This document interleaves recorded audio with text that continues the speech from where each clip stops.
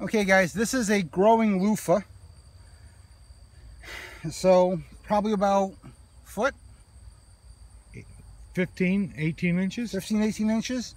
This is what they look like when they're growing.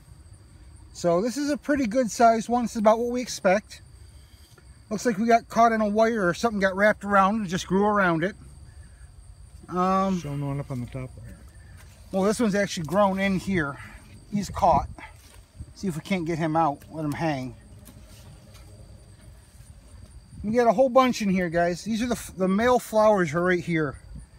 And you can see they're growing pretty long this year. You can see, hit the red button.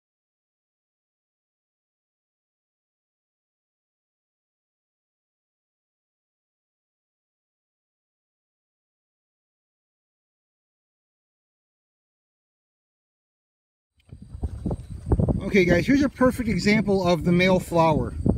Where it's had these flowers growing up here to help keep pollinating. And you've got another one that's coming up now for pollination. You got a couple more buds on there.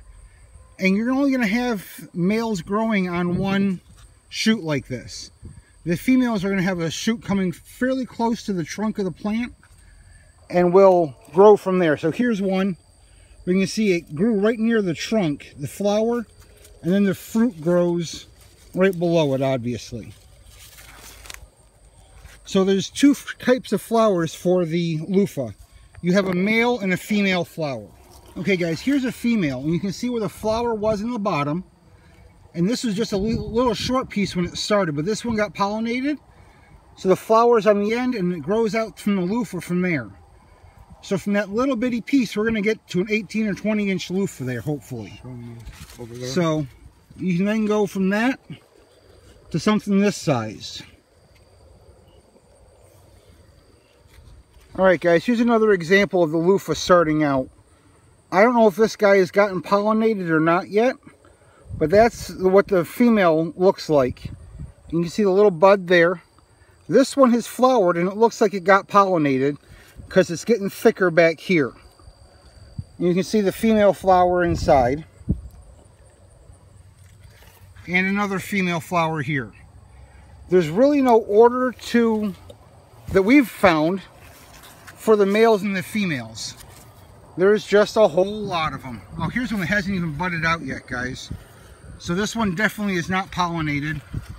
Growing right up near the main the main vine here. And this is the female, hasn't even budded out yet. So here's just a couple of snapshots of the plants growing.